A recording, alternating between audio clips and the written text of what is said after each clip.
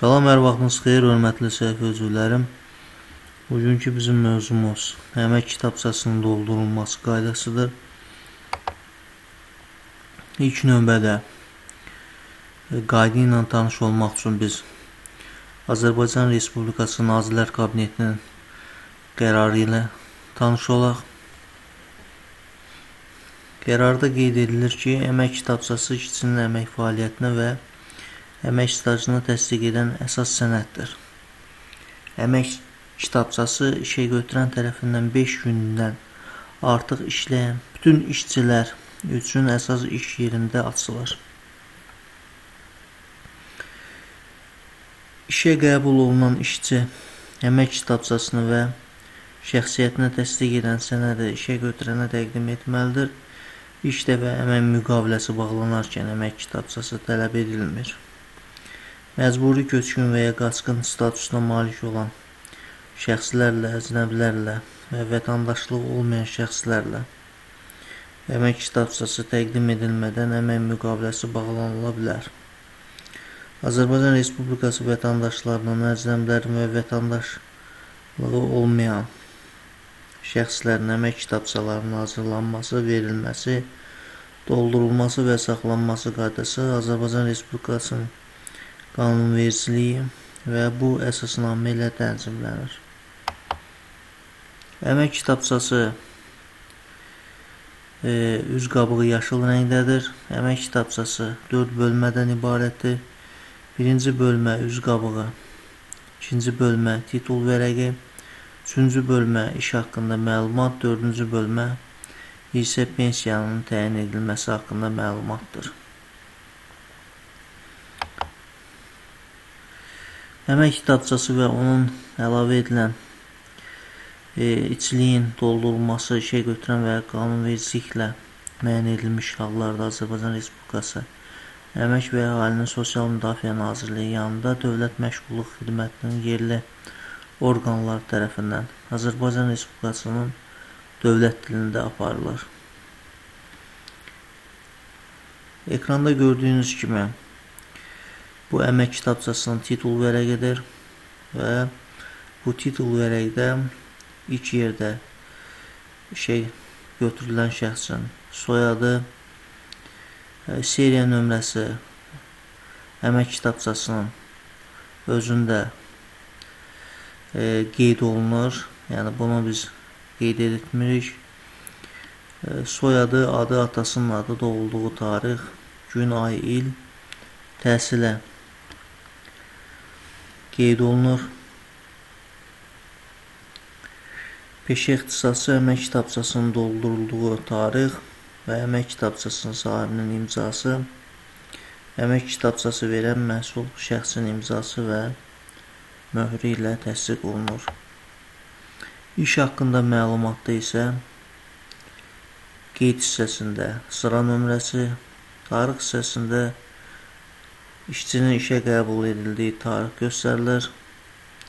İşə götürülmə və bir işdən başqa işə keçirilməsi, işdən azad edilməsi səbəbləri göstərilməklə, qanun maddəsinin bəndinə əsaslanmaqla işə götürənin tam adı qeyd olunur.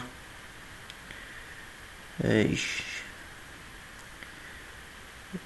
işin adı, peşəsi yaxud vəzifəsi, həmçinin vahid tarif cədvəli üzrə əməyin ödənilməsi dərəcəsi konkret göstərilməklə hansı sexə, şöbəyə, bölməyə, sahəyə, peşəyə və ya vəzifəyə təyin edilməsi yazılır. İşçinin qəbul edildiyi işin, peşəsinin yaxud vəzifəsinin adı haqqında qeyd, fəhlə peşələri və qulluqçu vəzifələri üzrə Respublika təsdiqatının və müvafiq sahələr üzrə fəhlə peşələrinin və qulluqçu vəzifələrinin vahid tarif sorğu kitabçasıları buna və digər müvafiq sənədlərə əsasına aparılır. İşə götürən hüquqi şəxsin adı dəyişdirdikdə fəhlə və qulluqçuya yeni yeni dərəcə verildikdə ştat cədvəlində vəzifələrdə əmək şəraitinin şərtlərində dəyişiklik aparıldıqda əmək kitabçasında dəyişikliklər işə götürənin əmrinə sərəncamına müvafiq aparılır. E, dördüncü qrafada isə qeyd edilir ki, nəyin əsasında yazılmışdır? Yəni işə götürən e, işçini hansı sənəd əsasında işə götürülüb? E, həmən sənədin əmrin sərəncamın tarixi və nömrəsi qeyd olunur.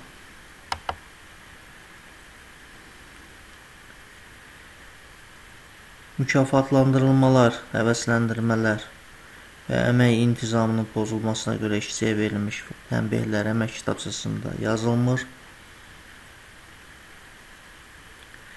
Əmək kitabçasının və onun əlavəçilikdə iş haqqında məlumat bölməsində qeydin dəyişdirilməsi zəruri olduqda onda müvafiq sıra nömrəsi və qeydin yazılma tarixi göstərilməklə Üçüncü qrafada belə yazılır. Nömrəli qeyd etibarsızdır. Əvəzçilik üzrə əmək fəaliyyəti haqqında əmək kitabçasında qeydlər əvəzçilik üzrə əmək müqaviləsinin sürəti əsasında işçinin arzusu ilə əsas iş yerində aparılır. İşçinin əmək kitabçasında işdən çıxmaq səbəbi qüvvədə olan qanunvericiliyin maddələrinə uyğun göstərilməlidir şey götürənin və ya onun müəyyən etdiyi məsul şəxsin imzası və həmin müəssisənin təşkilatının idarənin möhrü ilə fiziki şəxs olduqda isə tək imzası ilə təsdiq edilir. Əmək kitabçasında işə qəbul, başqa daimi işə keçirmək yaxud işdən azad etmək haqqında bütün qeydlər işə götürən tərəfindən əmr sərəncam verildikdən 5 gündən gec olmayaraq şərti ilə işdən azad etmək haqqında isə işçinin işdən çıxarıldığı gün edilir. Bütün qeydlər əmək müqaviləsində əmrin sərəncamının məzmununa uyğun olmalıdır. Gün və ay iki rəqəmli ərəb rəqəmləri ilə yazılmalıdır. İşə qəbul daimi başqa işə keçirmək barəsində səhv və qeyri-dəqiq yazılır, aşkar yazılar daha doğrusu aşkar edildikdə Düzəliş işəgötürən tərəfindən aparılır. İş yerini dəyişdikdə belə hallar aşkar olunarsa, yeni iş yerindəki işəgötürən bu barədə işçiyə lazımi köməklik göstərilməli, göstərilməlidir. Əgər əmək kitabçasında səhvə yol vermiş yaxud qeyri-dəqiq yazılış aparmış hüquqi şəxs ləğv edilmişdirsə, düzəlişlər hüquqi varis tərəfindən, hüquqi varis olmadığı hallarda isə onun tabi olduğu yuxarı orqan tərəfindən aparılır. İşəgötürən işçiyə onun xahişi ilə əmək kitabçasının iş fəaliyyəti haqqında çıxarış verilir.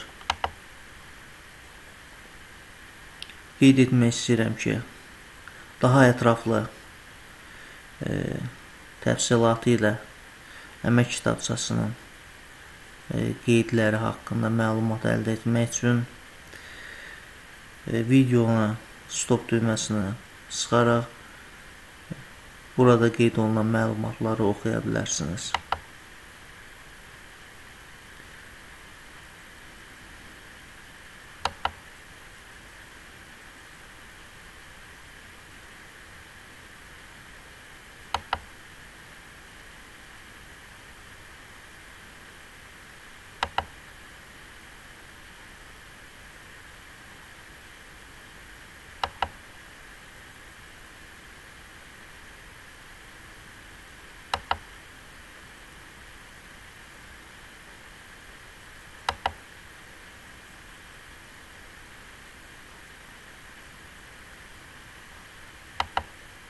Diqqətinizə görə təşəkkür edirəm. Sağ olun, sağlıqla qalın.